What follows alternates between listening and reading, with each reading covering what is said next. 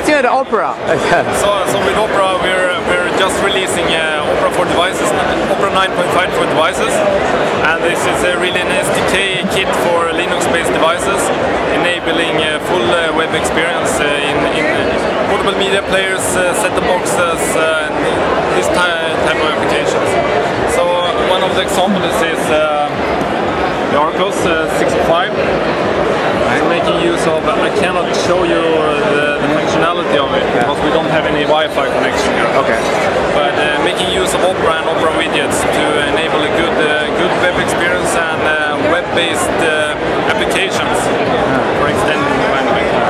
Also, also show a reference board from Freescale here. This is based on the IMX31 chipset. So this is a large size reference board, but uh, it come in in sizes fitting in, in a portable media player, so so pretty small. And here we have an Opera version with uh, bundling flash uh, Flash Lite 3.1. Uh, so that's available directly to, to customer of the Opera SDK. Our, our main uh, main goal is to be very very much standard supporting. So focusing on the latest web standards. Uh, the V3C standards is always supported by Opera. We also strive to have a very high performance on the embedded side. So many of the other, other windows has less standard support less performance on embedded. Right. So Opera, Opera do deliver over, a broad range of operating systems and, and uh, and devices. So down to 66 megahertz, uh, up to, to like you see the Wii and the desktop market. So what do you think about Firefox going mobile?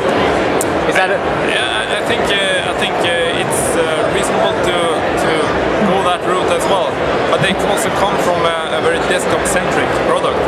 So Opera has been on the embedded side for, for many many years. So we have a strong handling of the out-of-memory techniques, uh, limited footprint, and efficiency both uh, both uh, for for using as little CPU cycles uh, as possible. And you, you see this uh, comparing uh, the ECMAScript engines, for example, Firefox and Opera. Opera performs very good on the embedded side.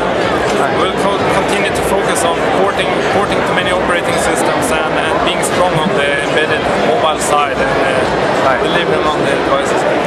And uh, comparing to Firefox, also Opera has the, the professional organization. In, in general, when delivering kind of devices, you need a strong support organization taking care of the bugs and handling this over time.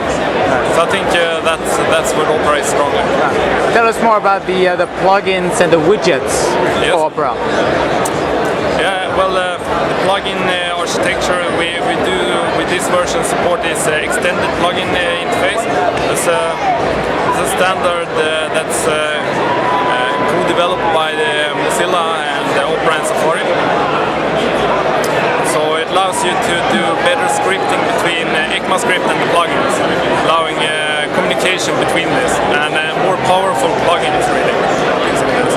We also have the, the Opera native JavaScript extensions, allowing you to execute native code uh, from from special uh, constructed plugins in the embedded space. And this is generally used to hook up, uh, say, video functionality or, or target uh, specific uh, functionality. So widgets. Oh, widgets, yes. Uh, this is uh, the, the small, small application, web-based applications that we're releasing also on uh, a lot of embedded systems.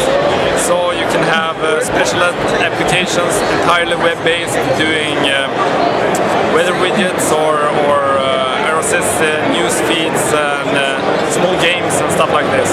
This is one of the things we're uh, releasing on the Archos uh, 605 uh, at the moment. So Opera, Opera widgets enabling the, the users of the Archos to expand the, the, the applications on the, on the device.